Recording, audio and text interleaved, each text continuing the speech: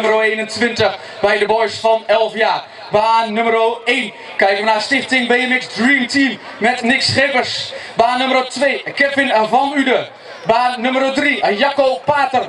Baan nummer 4 Roytje Brinkman. Baan nummer 5 Erik van der Wiel. Baan nummer 6 Dylan Postumus. Baan nummer 7 Matthijs van der Akker. En helemaal aan de buitenkant naar een derde plek in de halve finale Dustin Eindhoven.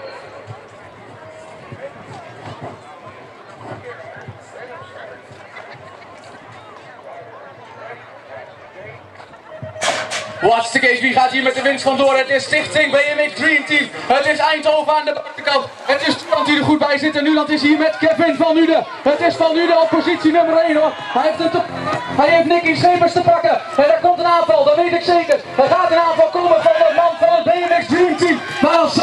moeten dichten. Dan moet hij er eerst naartoe. Want die jongen met die lange benen uit Nuland daar ligt toch wel mooi op positie nummer 1 hoor. En waar ga je dat gat nog een keer dichtmaken? Eindhoven ook, hij is in aantocht. Hij zit er goed bij. 142, Dylan Postume. De rest is weg. Kom op, Nick!